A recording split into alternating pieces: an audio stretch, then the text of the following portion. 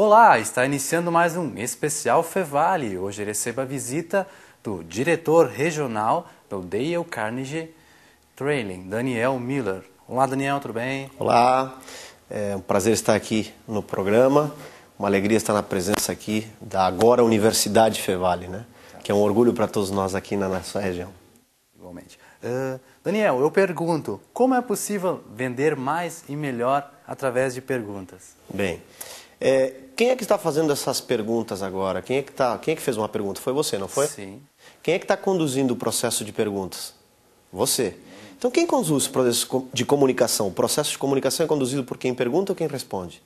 E veja que eu assumi Sim. através de pergunta. Exatamente. Em vendas, é, existe um conceito ainda que o vendedor tem que ser um comunicador persuasivo, que ele tem que vender através da persuasão falando. E eles falam, falam, falam, falam, falam para tentar convencer. Quando em realidade nós precisamos descobrir o que o cliente quer, o que ele precisa, qual é a necessidade, qual é o desejo, e aí sim oferecer a nossa solução. Mas eu não descubro se eu não fizer perguntas. Por isso o poder da pergunta. Muito bem. Defina a importância das relações humanas para a conquista de clientes. Bem, perfeito. É, não adianta só saber perguntar, ter habilidade de perguntar. É também importante que a pessoa te responda. E é importante que você ouça. Então, a pessoa só vai te responder aquilo que realmente ela tem que dizer, o que você quer, precisa ouvir, se você tiver um bom relacionamento, se você souber se aproximar dela, se você usar alguns princípios. Nós pertencemos à Dale Carnegie Training, uma organização internacional de treinamentos, onde o fundador Dale Carnegie estabeleceu 30 princípios para se aproximar das pessoas. Entre eles eu cito: não critique. Então, se eu vou visitar um cliente e eu quero que ele me conte um pouquinho das necessidades, eu não posso começar criticando. Eu posso começar elogiando, sempre que for um elogio sincero. Nós gostamos quando as pessoas nos fazem sentir importantes. Então, muitas vezes eu vejo vendedores falando: eu trouxe meu produto.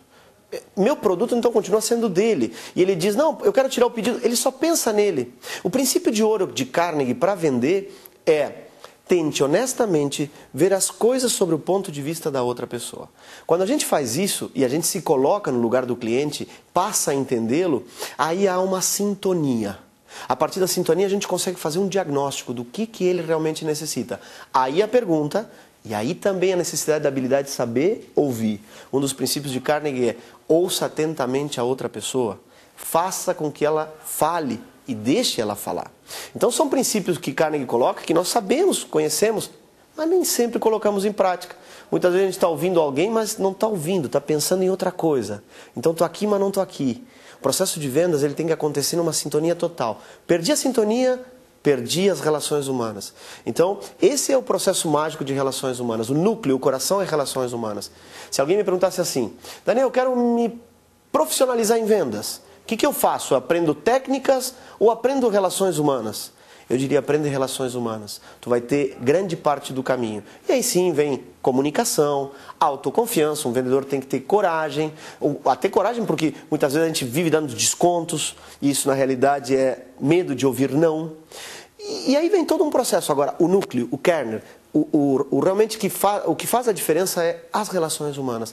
Os, os produtos e serviços são movimentados por pessoas. Ok, você falou de princípios, assim, para você, qual o princípio, quais os mais importantes, assim, os dois mais importantes que você mais utiliza nessas suas técnicas, desses princípios que você havia citado, dos 30? Eu te diria assim, se tu me permite, eu diria que vendas são três princípios básicos, três habilidades básicas. Primeiro, saber se relacionar, saber perguntar e saber ouvir. Dentro das relações humanas, eu citaria outros três princípios. Não critique. Não critique o concorrente, não critique o cliente, não critique a tua empresa. Segundo princípio que eu citaria, faça a outra pessoa sentir-se importante e faça com sinceridade. E o terceiro princípio fundamental, tente honestamente ver as coisas sobre o ponto de vista da outra pessoa. São alicerces fundamentais. Não adianta ser falado, isso tem que ser praticado. Eu sempre digo para as pessoas que querem treinar: ah, eu quero fazer um curso de vendas. Faz com alguém que tenha sido vendedor.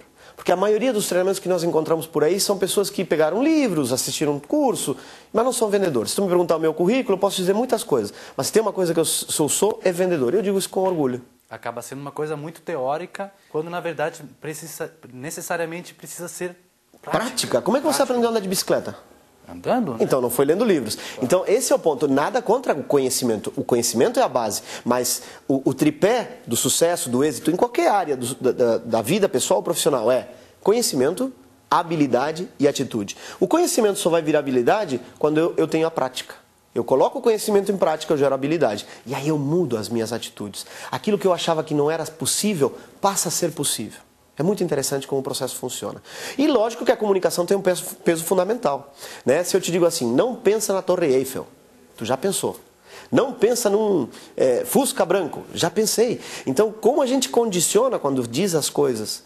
Tem que ter muito cuidado com as palavras. O vendedor fala em preço. O vendedor não pode falar em preço, o vendedor tem que falar em valor. A venda é um jogo. O comprador tem que falar em preço. O vendedor tem que falar em valor.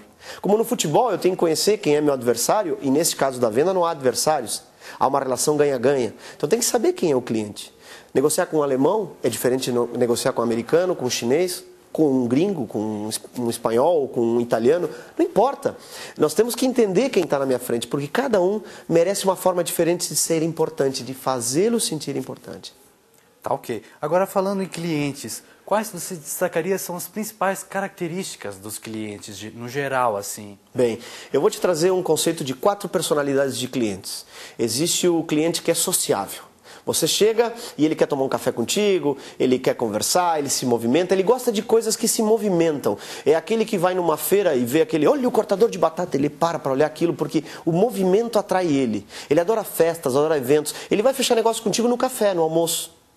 Por outro lado, tem o amigável. O amigável ele também é um bem emocional, mas ele quer conversar. Ele te pergunta como é que tu tá e ele quer saber mesmo. O social pergunta como é que tá, tudo bem? Mas é aquela coisa o amigável quer conversar. Então, se eu estou numa loja de calçados e eu recebo um amigável e logo quero mostrar produtos, eu vou ter um problema. Porque ele quer primeiro que tu pergunte o nome dele, ele quer que tu conheça um pouquinho sobre ele. Por outro lado, tem o terceiro grupo, né? que é o analítico. É aquele que quer os detalhes. Ele chega num carro, olha e diz: é, o porta-luva, por favor. Ah, tem lâmpada. Qual é a voltagem da lâmpada?